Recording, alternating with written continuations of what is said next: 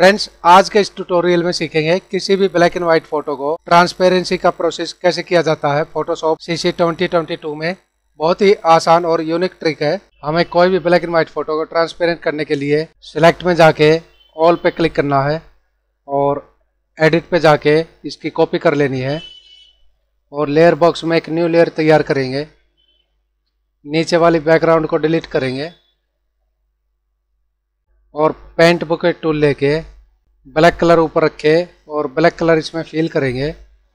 आप यहाँ layer box में ऐड लेयर मास्क पे क्लिक करेंगे और वाइट वाले मास्क को ओल्ट दबा के माउस से क्लिक करेंगे और एडिट पे जाके यहाँ से पेस्ट पे क्लिक करेंगे। तो इस तरह से फिर से हमारी इस पे पेस्ट हो जाएगी और इमेज में जाके एडजस्टमेंट पे जाके यहाँ से इन्वर्ट पे क्लिक करना और लेयर थंबनेल पे हमें एक बार क्लिक करना। और कंट्रोल डी से अनसेलेक्ट करके मूव टूल सेलेक्ट करके आप देख सकते हैं यहाँ पे।